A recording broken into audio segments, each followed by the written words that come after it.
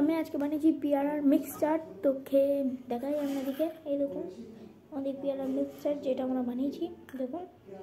এবারে এটাকে আমি একটু খেয়ে দেখব কেমন খেতে। এইটা করতে সস, তেল আর একটু বিট, নুন লাগিয়েছে, বা এমনি নুন দিয়ে করতে পারেন। খেয়ে দেখি।